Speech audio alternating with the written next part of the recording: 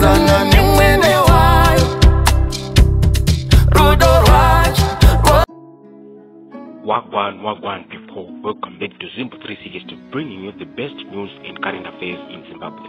If you are still new to this channel, just hit the subscribe button so that you don't miss any updates on this channel. In today's video, I am going to give you 5 reasons why Jah Prayzah is the best artist in Zimbabwe. Firstly, Jah Prayzah is yet to release two albums this year. The musician songwriter is yet to launch the Chilemerera album and the Maita Baba album on the 12th of May and 13th of May respectively.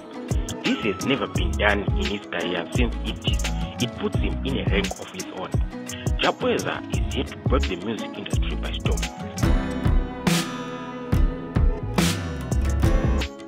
Secondly, Jah Prayzah has collaborated with top sharks as far as the music industry is concerned. He has collaborated with Sauti Sol, Davido, Yemi Alade, Diamond Platnumz, only to mention a few. Such international collaborations put him in a zone of his own.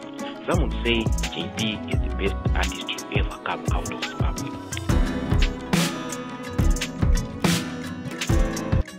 Secondly, Jah Prayzah has collaborated with top sharks as far as the music industry is concerned. He has collaborated with Sauti Sol, Davido, Yemi Alade, Diamond Platnumz, only to mention a few. Such international collaborations put him in a zone of his own. Some would say JP is the best artist to ever come out of Zimbabwe.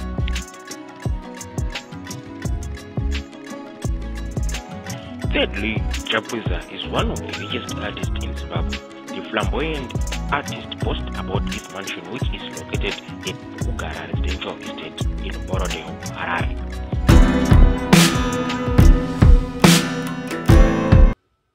Fourthly, Jah Prayzah is one of the best artists in Zimbabwe who has won the MTV Listener Choice Award. This ranks him at the top and be the giant of Zimbabwe as far as the music industry is concerned.